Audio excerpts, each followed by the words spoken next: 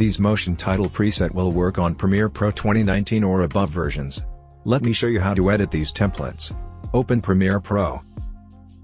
Here I have taken a full HD sequence. Open Essential Graphics panel. Go to Windows, select Essential Graphics. To install templates, right-click here. Click on Manage Additional Folders. Then click on Add.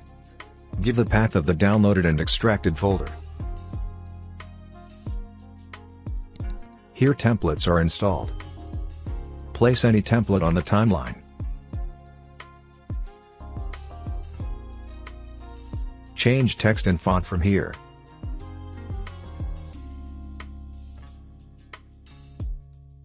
Change text color and position from here. You can also use gradient color. Go to the effects panel and search for ramp effect.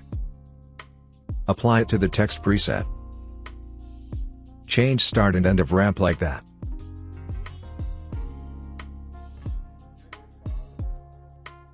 Change start and end color.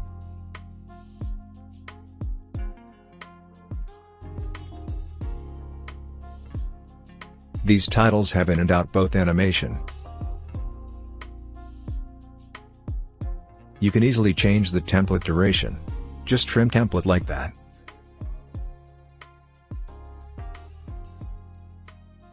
That's it. Thanks for watching.